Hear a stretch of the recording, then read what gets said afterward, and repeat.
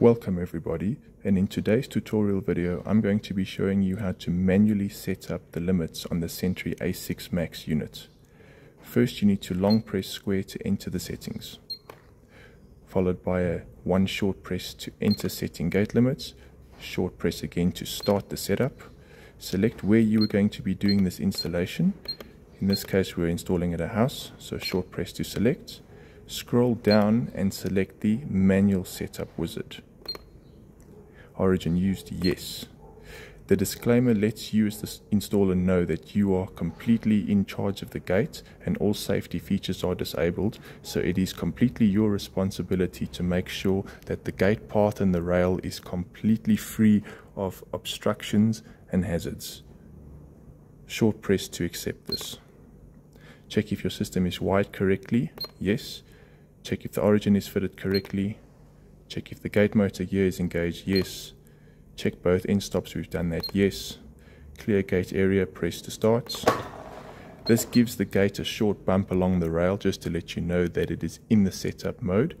You may now press and hold square to run the gate towards the end stop or you may give a slight increment along to run the gate until you are happy that it has reached its end stop.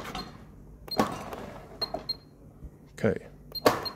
In this case, it has reached the end stop, so you press down and it will log that limit that it is now in memory. For the next phase, you need to open to the open cycle. So you push and hold the square and the gate will run the opposite direction until you reach the end stop that side. If you would like to stop the gate, you simply release.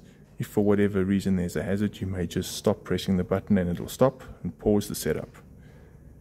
If you need to exit this menu for whatever reason, you may press up twice or down twice in quick succession and the setup will be cancelled. We want to finish the setup, so we will increment it until we reach the end stop.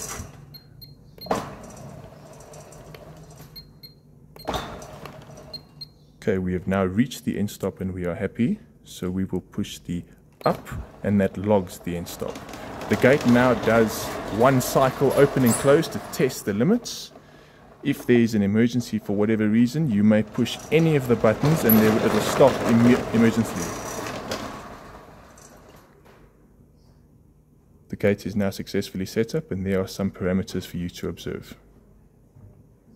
Thank you for watching this video.